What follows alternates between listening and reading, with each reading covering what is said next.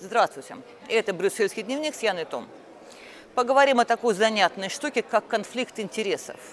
Европарламент продолжает присматриваться к кандидатам в еврокомиссары. Среди прочего, мы стараемся как можно тщательнее отслеживать все, что касается их связей с политикой и бизнесом. Цель простая – исключить любую тень коррупции – правовой комитет Европарламента корпит над перечнями имущества и может даже потребовать от кандидата, например, продать акции какой-то компании, чтобы, не дай бог, сфера компетентности комиссара не пересеклась с делами на ниве предпринимательства его или его родных.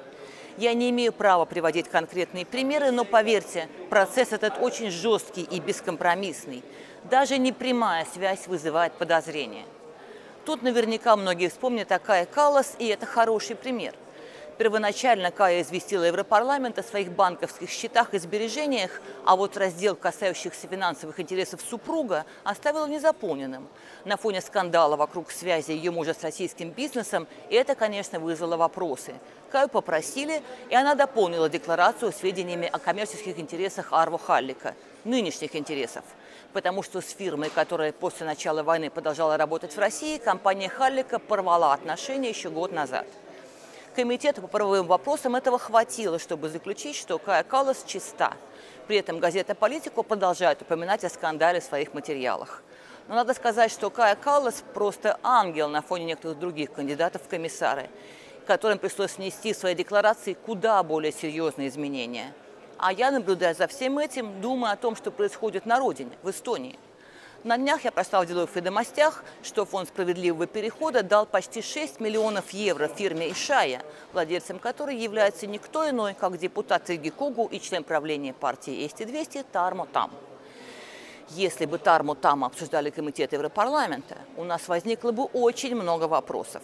Во-первых, в Риге Когу он заседает в комиссии по делам ЕС и в экономической комиссии, а речь, напомню, о деньгах ЕС, распределяющихся через Фонд справедливого перехода для создания рабочих мест вида Вирума. Раньше Тармотам возглавлял комиссию Ригикогу по окружающей среде, а сегодня входит в Совет Государственного центра инвестиций в окружающую среду. У этого центра есть проекты, финансируемые тем же самым Фондом справедливого перехода. Во-вторых, у компании «Шая» своеобразная история. Она много лет с переменным успехом перепродавала древесину из России – После начала войны экспорт российской древесины прекратился, а с ним увяла и существенная экономическая деятельность. Доход от продаж в 2023 году составил 218 евро. Компания искала новые рынки, видимо, нашла. В этом году доход все же подрос. Но главное, у компании, судя по отсчетам, не было ни одного работника. И вот такой фирме Фонд справедливого перехода дает 6 миллионов. Я буду только рада, если Ишая построит в Кохтаярве завод по производству пиломатериалов и создаст обещанные 25 рабочих мест. Но изумляет сам подход. Ни у кого не возникло никаких вопросов насчет того, нет ли тут конфликта интересов. Юридически все корректно. У нас по закону исключают из числа претендентов на поддержку только тех, кому запрещено заниматься бизнесом и кто был наказан за экономические преступления. Но если бы что-то подобное происходило на евроуровне, чиновники и журналисты подробно расспросили бы Тарму Тамму много о чем, чтобы удостовериться, что конфликта интересов нет и проект осуществим.